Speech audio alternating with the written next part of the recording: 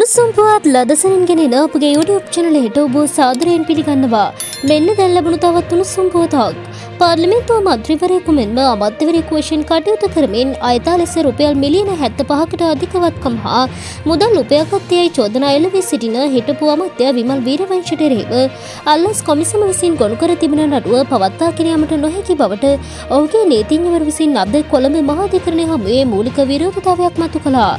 මෙම නඩුව අද කොළඹ මහාධිකරණ විනිසුරු නවරත්න මාරසිංහ මහතා ඉදිරියේ කැඳවනු ලැබුවා. එහිදී විත්තිකාර විමල් වීරවංශ වෙනුවෙන් පෙනී සිටි ජනාධිපති නීතිඥ ශමීන්ද්‍ර ප්‍රනාන්දු මහතා අධිකරණය හමුවේ කරුණු දක්වමින් තම සේවාදායකයට එරෙහිව මෙම නඩුව අල්ලස් මනත යටතේ ගොනු කර ඇති බව සඳහන් කළා. අල්ලස් මනත යටතේ මෙවැනි චෝදනාවක් ඉදිරිපත් කළ හැකේ රාජ්‍ය නිලධාරීන්ට පමණක් යයි පෙන්වා දුන් ජනාධිපති නීතිඥවරයා පාර්ලිමේන්තු මන්ත්‍රීවරුන්ට හා අමාත්‍යවරුන්ට එම පනත අදාළ නොවන බවත් පෙන්වා දුන්නා.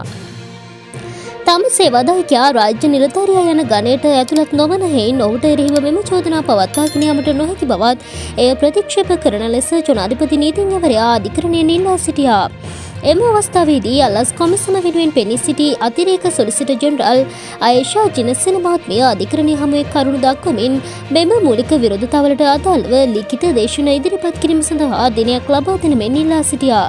එම ඉල්ලීම පිළිගත් අධිකරණය නඩුව නැවත නොවැම්බර් මස විසි අටවනිදා කැඳවන ලෙසත් එදින අදාළ ලිඛිත දේශන ඉදිරිපත් කරන ලෙසත් පාර්ශ්වකරුවන්ට නියෝග කළා. මෙවැනි උණුසුම් පුවත් ලදසනින් දැන ගැනීමට අපගේ YouTube චැනලය සබස්ක්‍රයිබ් කර බෙල් අයිකනේ ක්‍රියාත්මක කරන්න.